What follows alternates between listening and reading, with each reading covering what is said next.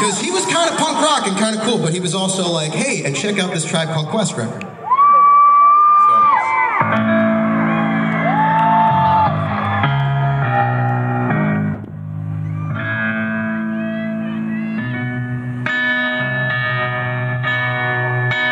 Oh, figure this stuff out on stage. I don't know what I'm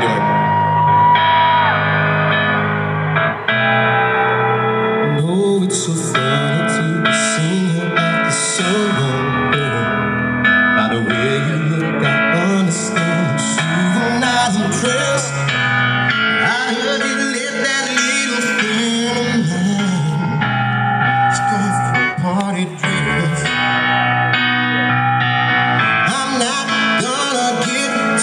sentimental like the